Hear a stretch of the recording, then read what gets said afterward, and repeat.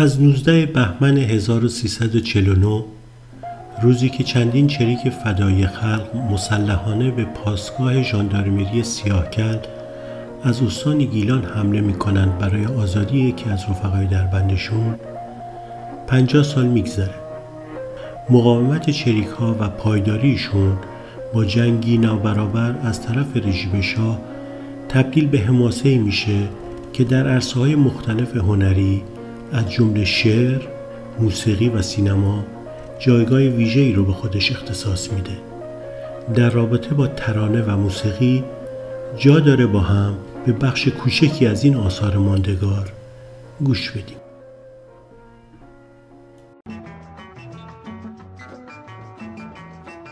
ترانه تو بارونی تو آفتابی رو مینا اسدی در سال 1351 سرود و اسفندیار منفرد زاده بر اون آهنگ گذاشت و این ترانه توسط رامش خونده شد. مینا اسدی درباره سرودن این ترانه میگه من این شعر رو برای عباس مفتاحی و اسدالله مفتاحی سرودم. دو برادری که رژیم شاه در آن زمان صدها هزار تومان برای سرشون جایزه تعیین کرده بودند. اونها اهل ساری بودند و همشهری من و همبازی و همکلاسی برادرانم. و همین برای من انگیزه شد تا این شعر رو بنویسم. البته بد نیست یادآور بشم که این ترانه فقط یک بار با صدای رامش در برنامه ما و شما صبح جمعه رادیو پخش شد و دیگه اجازه پخش در برنامه چشمک اصر همون روز تلویزیون رو پیدا نکرد. با هم به این ترانه گوش می‌کنیم با بزرگداشت یاد و خاطره او.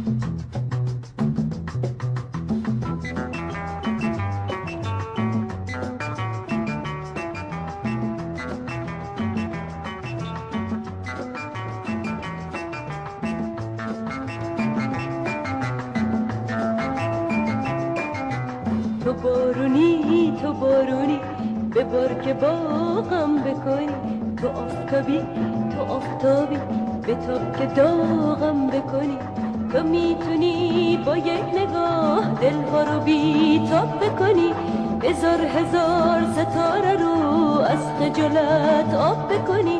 کویر خوش که تشنه رو سیرا به سیرا بکنی. تو بارونی تو بارونی. به بار که باغم بکنی. تو آفتابی تو آفتابی به تاب که داغم بکنی.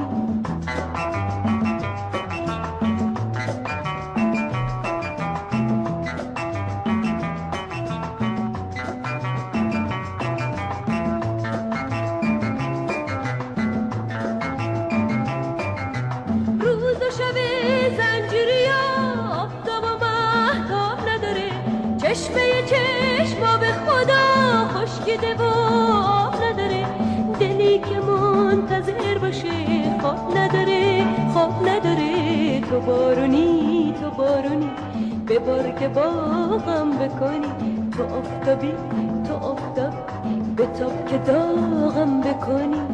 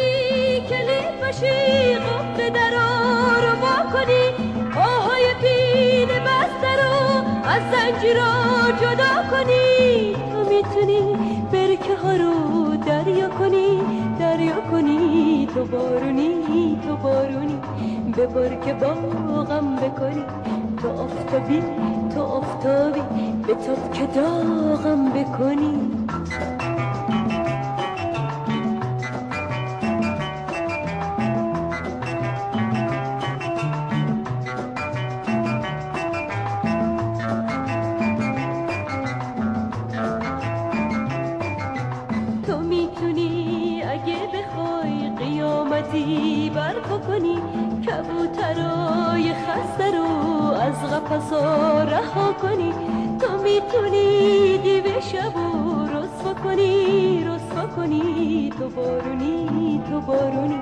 به بار که باغم بکنی تو آفتابی تو آفتابی.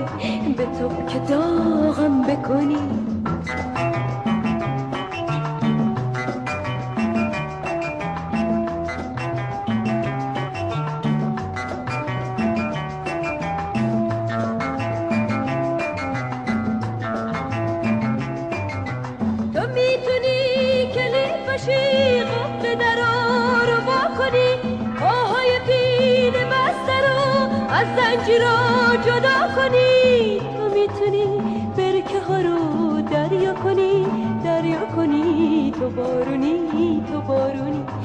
ببار که باغم بکنی.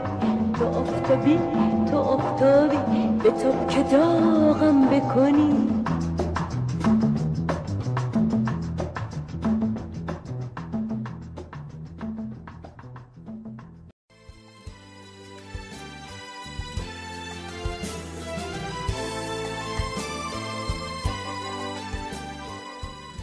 جنگل با صدای گرم داریوش اقبالی و ترانه سرایی ایرج جنتی عطایی آهنگ و تنظیمش رو بابک بیات انجام داد. این ترانه در فیلم خورشید در مرداب به کارگردانی محمد سفار استفاده شد. ایرج جنتی عطایی این ترانه رو به یاد قیام سیاهکل نوشت. داریوش هم مدتی به خاطر خوندن این گونه ترانه های سیاسی به زندان اوین در رژیم پهلوی افتاد. جنتی عطایی میگه این ترانه را در رابطه با سیاهکل سرودم. در اون دوره در تهران پسته چاپ شده بود و دنبال چریکا میگشتند. بعد ماجرای تعقیبشون تو جنگل و تیراندازی هایی که پیش اومد و این موضوع که می‌گفتن بخشی از روستایی های اونجا هم کمک کرده بودند به پلیس برای دستگیری چریکا و اونها هم اذیت و آزاری به روستایی ها نرسونده بودند. تمام این موضوعات و خبرها در من قلیان کرد و اون ترانه رو نوشتم. ضمن قدردانی از این اثر ماندگار با هم به این ترانه گوش می‌کنیم.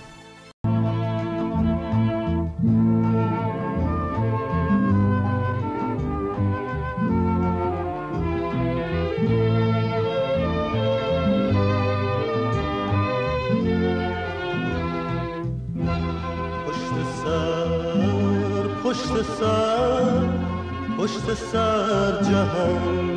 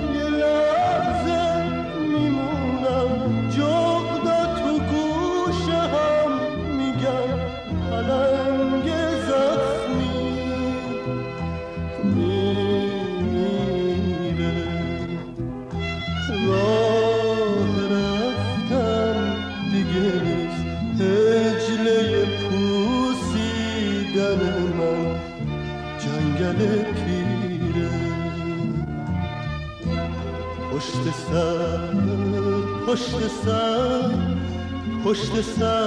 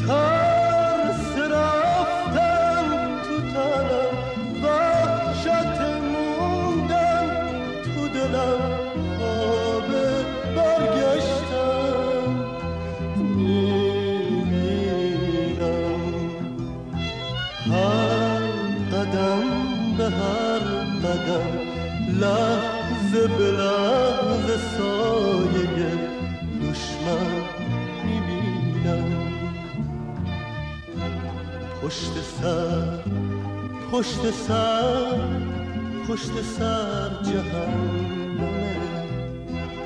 روبرو روبرو قلباز آدمه. پشت سر پشت سر پشت سر جهنمه.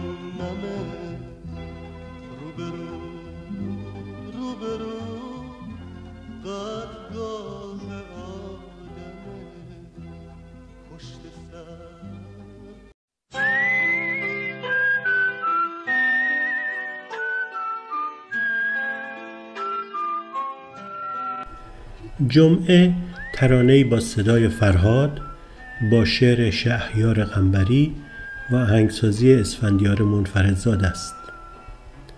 اسفندیار منفردزاده چند ماه بعد از قیام سیاهکل تصمیم گرفت آهنگی متأثر از اون بسازه و از شهیار قنبری خواست تا ترانه‌ای درباره دلگیری های غروب جمعه بنویسه. او همچنین از فرهاد خواست تا این ترانه رو بخونه. این ترانه در ابتدا تهیه کننده پیدا نمی‌کرد ولی خیلی زود به یکی از پرفروشترین صفحه های موسیقی ایران تبدیل شد.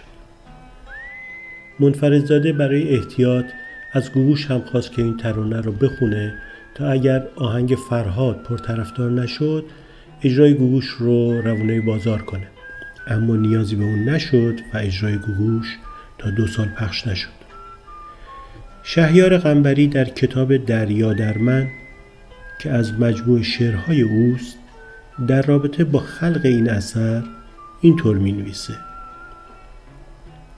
ترانه جمعه رو در یک عصر جمعه در خانه اسفندیار نوشتم و به امیر نادری و فیلم خداحافظ رفیقش پیشکش کردیم. روی جلد صفحه 45 دور سه تصویر سیاه و سفید از جوونی ما پشت جلد دستانی چروکیده پیر سیاه و گرسنه. پای این تصویر نوشتم نازنین هدیه‌ای به تو که هر روزت جمعه است. گوش می‌کنیم به این ترانه با صدای زنده یاد فرهاد.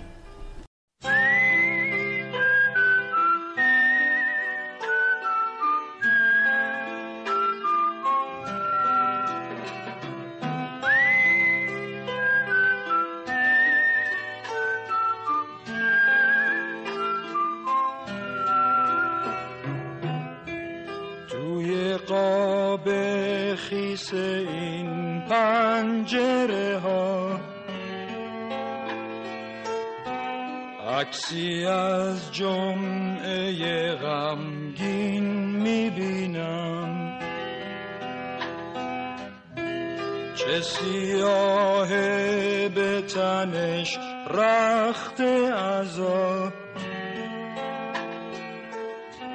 تو چشاش ابرای سنگین می‌بینم. داره از ابر سیاه خون میچکه. جمعه ها خون جای بارون میچکه.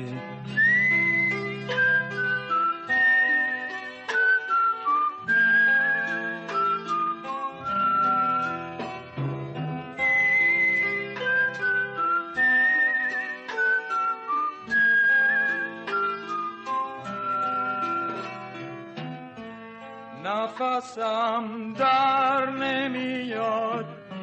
جمعه ها سر نمیاد. کاش میبستم چشامو این ازم بر نمیاد. داره از ابر سیاه خون میچکه. جمعه ها خون جای بارون میچکه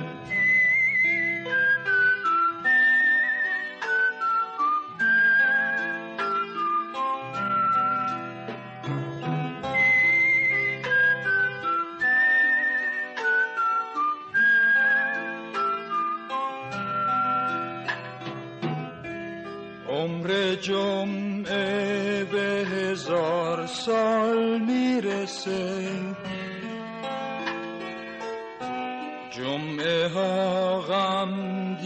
بیداد می‌کنه. آدم از دست خودش خسته میشه. با لبای بسته فریاد می‌کنه. داره از ابر سیاه خون میچکه. جمعه ها خون جای بارون میچکه.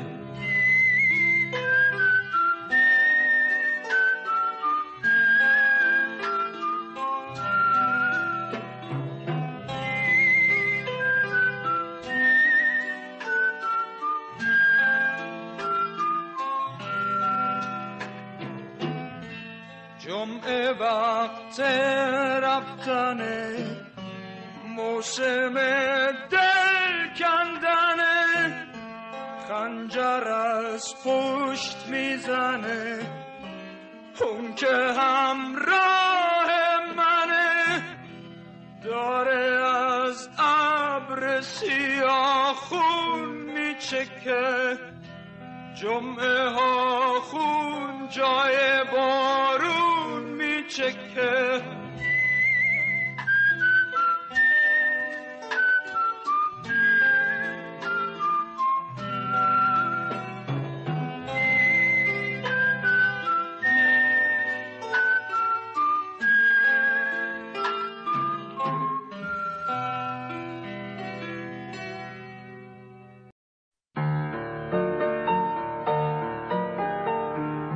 گنجیشک اشیمشی با صدای پری زنگنه و آهنگسازی اسفندیار منفردزاده شعری است از متلهای قدیمی کازرونی نگاشته شده از حسن حاتمی به گویش کازرونی که توسط احمد شاملو به گویش فارسی تبدیل شده. این ترانه در فیلم گوزها مورد استفاده قرار گرفت. البته قابل ذکره که این ترانه توسط فرهاد بهرداد هم به اجرا در اومد و به ماندگاری این ترانه قنای بیشتری بخشید. با هم میشنویم این ترانه رو با صدای زیبای پری زنگنه.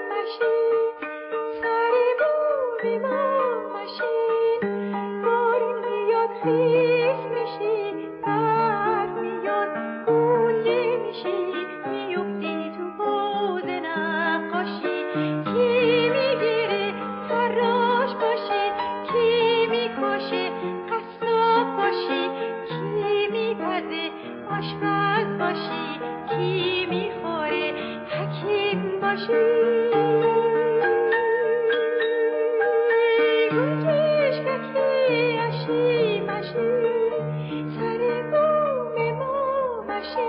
you.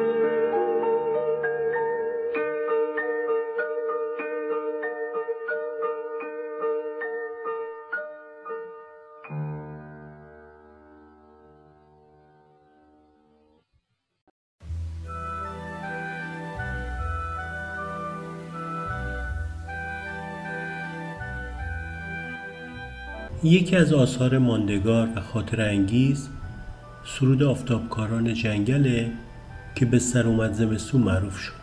شعر اون رو زنده یاد سعید سلطانپور در زمانی که در زندان رژیم پهلوی بود سروده بود. چگونگی شکلگیری این ترانه رو از زبان تنظیم کننده اون یعنی مهرداد بران میشنویم. با گرامی داشت یاد سعید سلطانپور باید یادآوری کنم که جمهوری اسلامی سعید سلطانپور این شاعر نوایش نام نویس کارگردان تئاتر و عضو کانون نویسندگان ایران رو در 27 فروردین 1360 در شب عروسیش دستگیر و حدود دو ماه بعد در زندان اوین به جرم هواداری از سازمان چریکهای فدایی خلق ایران ادام می‌کنه. اوایل آذر ماه 1357 بود که من که در دانشگاه واشنگتن کاتولیک یونیورسیتی تحصیل کردم دبیران انجمن واشنگتن دانشجویان واشنگتن به من گفتن که من برادرم که نوازنده های حرفه‌ای بودیم ما گفتن که یه آقای اومده و یه سری شعر و آهنگای با خودش آورده. اینا می‌تونه خیلی جالب باشه ببینیم میشه کاری کرد با این آهنگ ها و با این شعرها اینا. و ما هم از روی کنجکاوی برای اینکه خب اتمسفر جامعه ایران هم دیگه خیلی خیلی ملتهب بود ما شخصی رو به ما معرفی کردن به نام داووده که همیشه به نام داوود شراره معروف شد و البته اسمش هم اسم بزرگش این نبود اسم فامیلش ولی خب همه چون می‌شناسن ما هم به همین اسم همیشه میگیم داوود شراره. چندین تا شعر به ما نشون دادش و که این شعرها خیلی خیلی از نظر محتوا جالب بود و یکی از اون شعرها شعری بود به نام آفتابکاران جنگل که بعدها به صورت به اسم سر اومد زمستون معروف شد. این شعرها رو بعدها ما متوجه شدیم که سعید سلطانپور در زندان گفته بوده این شعرها رو. و از اونجایی که در زمان در اون زمان ها حتی در این زمان ها هم همینطور بچههایی که زندان بودن دست در شعر داشتن ولی دست در موسیقی نداشتن. آهنگ هایی که به ذهنشون می‌رسید یعنی شعرهایی که می‌گفتن بر مبنای یه سری آهنگ هایی که قبلا توی اجتماع وجود داشته. حالا بر مبنای ریتمی که خودشون انتخاب می‌کردن یا محتوای آهنگی اون آهنگینشو یه شعرهایی بر مبنای اون می‌گفتن. که یکی از اینها وقتی که برای ما خوند من خودم موقع نمی‌دونستم که این قبلا ممکنه جایی نشنیده بودمش تا با حالی خودم.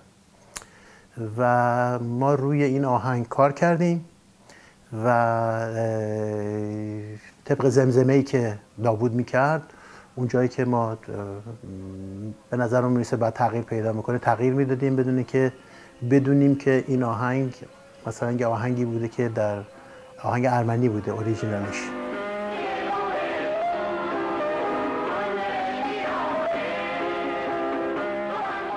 ما شروع کردیم روی این آهنگ کار کردن به اضافه پنج تا آهنگ دیگه. از انجمن دانشجویان هوادار سازمان چریکای فدای خلقم که توی واشنگتن بودن خواستیم که یه گروه کور درست بکنیم و از اون جاهایی که فکر می‌کردیم که میشه به حالت ترجیبند بشه اونها جواب بدن که یک اتمسفر بهتری بگیره و داوود هم هیچ وقت با تا با ساز نزده بود نخونده بود. براش خیلی مشکل بود که اینا رو ما در عرض 6 روز هم کور رو درست بکنیم هم بتونیم توی صداخانه دانشگاه بتونیم ببریم اینا رو ضبط بکنیم و اینا. ولی خب شعرها انقدر گویا بود و اون موقع هم اگر کسانی یادشون باشه خیلی اتمسفر شدیدا مذهبی شده بود. همه چیز از دیدگاه مذهبی آهنگ ها سرودا همه مذهبی بود و این یک دریچه بود برای کسانی که به دنبال یک ایده دیگه غیر از غیر از مذهب روی مسئله آزادی روی مسئله استقلال روی مسئله اگر روی شعرها خوب دقت بکنیم می‌بینیم که تمام آزادی هایی که همه کشورهای اروپایی و غیره به دست آوردن ازش حفظ و حفاظت می‌کنن تو این آهنگا کاملا به چشم می‌خورد و ما اسم می‌کردیم که این یک مثل یک پناه پناهگاهی میشه برای اون بخشی از جامعه که سکولار هستن و نمی‌خوان یک عقیده خاصی رو دنبال بکنن و ما اینها رو با گروه تمرین کردیم. البته دونه دونه این آهنگا رو که معروف ترینش شاید بگیم سه تا از این شش تا آهنگ خیلی معروف شد. یکی آهنگ سرومت زمستون بود که چندین بار و چندین ده بار توسط دیگران هم خونده شده. و حتی در سال 88 هم دیدیم که جنبش سبز به عنوان دیدگاه اجتماعی دیدگاه نظری خودش باز این آهنگ رو بر مبنای این محتوایی که تو این آهنگ هست تو این شعر هست اونا هم همین آهنگ رو انتخاب کردن که دقیقا یه پلی زده شد که جامعه ما هنوز همون درخواست هایی رو داره که سال 57 داره. این آهنگ ها رو ما بر مبنای شعری که داشت ضبط کردیم. من خودم ویولونسل می‌زدم برادرم پیانو می‌زد. دسته کور هم که می‌خوند و داوودم که سولوشو می‌خوند. و این آهنگا رو ما خیلی خیلی سریع. یعنی اصلا فکر نمی‌کردیم که مثلا اینا شاید یک هفته ده روز نمی‌دونم چند روز یک ماه دوام داشته باشه. ولی خب حس می‌کردیم که باید این کار رو انجام بدیم. ضرورت اجتماعی بودش که اون موقع میطلبید که یک, یک کاری بکنیم. این آهنگاری که وقتی ما ضبط کردیم ما دیگه داوود رو ندیدیم که ندیدیم و یک موقع متوجه شدیم که این آهنگ ها سرتاسری در ایران پخش شده. حتی توی رادیو و تلویزیون پخش شد. اون روزهای اول انقلاب که بعد دیگه قلقه هم شد. و اجازه ندادن که این این گونه آهنگا پخش بشه و آهنگای خودشون رو پخش کردن. توی میتینگ هایی که توی دانشگاه بود کنار دانشگاه شما هر فیلم های اون زمان اگر دقت بکنین توی بکراند این اتمسفر همیشه صدای این سرودا میاد برای اینکه این در مثل سرود ملی شد این به خاطر بازم همون محتوای کلامی که داشت. در اون زمان وقتی که ما اینا اولا متوجه نبودیم کدومی که از این آهنگا می‌تونه ماندگار بشه نشه اصلا این مسئله این تو ذهنمونم خطور نمی‌کرد این سوال. صحبت از این بودش که این کار انجام بدیم. و من اون زمان هیچ وقت فکر نمی کردم که این آهنگ ماندگار بشه اصلا تو ذهن ها بمونه یا اینکه به صورت یک آهنگ به قول خیلی هم عذا باشه و هم عروسی برای اینکه هر جا که مثل اینکه دور هم جمع میشن این آهنگ رو می‌خونن. حالا چون که خودشون رو در این آهنگ می‌بینن در این شعر می‌بینن. همونجور که گفتم این آهنگ ها ما در واشنگتن این کار انجام دادیم. و تا ما زندگیمون رو جمع کردیم و رفتیم ایران شد خرداد 58 دوستانی که از شهر واشنگتن هم اومده بودن و تصمیم گرفتیم ما دور هم جمع بشیم. یه جایی گفتیم خب تو تهران که نمیشه گفتیم بریم طالقان. به صلاح ده منطقه آب اجدادی ما. و ما یه نصف اتوبوس تقریبا 16 17 نفر بودیم.